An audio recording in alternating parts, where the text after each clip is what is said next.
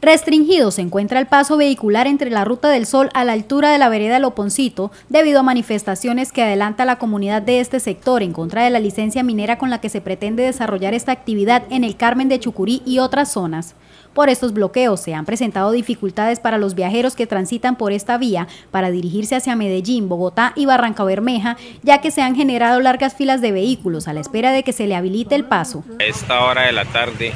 esta es la problemática que se presenta en este momento en la vía Bucaramanga-Puerto Araujo, sector Campo 23. Eh, plantón sobre la vía principal debido a la problemática que se presenta en el municipio del Carmen de Chucurí. Las autoridades recomiendan a los conductores seguir las recomendaciones y tomar vías alternas de ser posible, con el fin de evitar molestias por el trancón que hasta el momento se desconoce el horario en el que la comunidad pretenda desbloquear esta vía.